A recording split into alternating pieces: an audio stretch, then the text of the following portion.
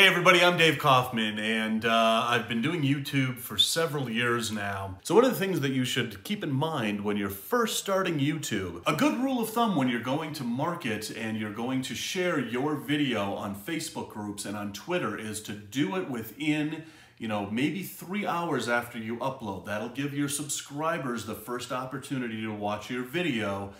So about three hours after you upload, go and bomb the other sites uh, and market your upload.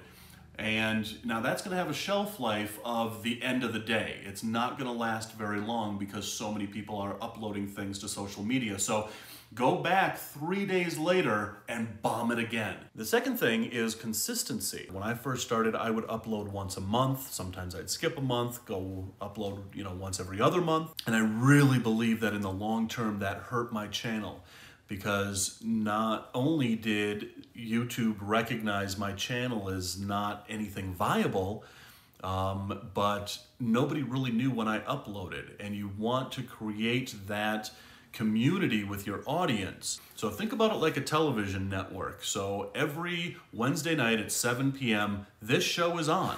You have to think in those kinds of terms when you start your YouTube channel.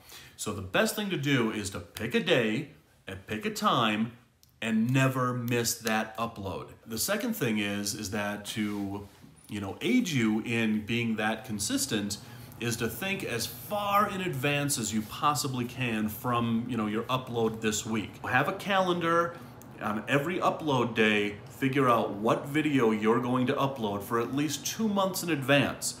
You can, you know, film those on a Saturday and upload those on a Wednesday film eight videos on a Saturday afternoon and then just upload them every Wednesday or Thursday or whatever your upload day is.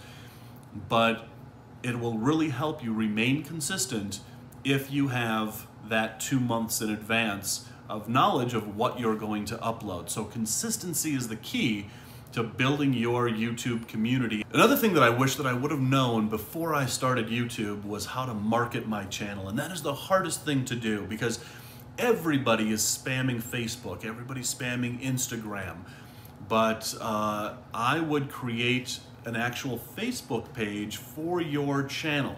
So let's say you have a fishing channel. I would create a channel on, or a, a page on Facebook with your channel name, get people to like that page, and then use that page to market every time that you upload. So again, number one, consistency a day and a time. Number two is think as far ahead as you possibly can. Number three is marketing. If you start off your YouTube channel and keep those three things in mind, chances are your YouTube channel is going to grow at an upward pace and you're going to have success on YouTube.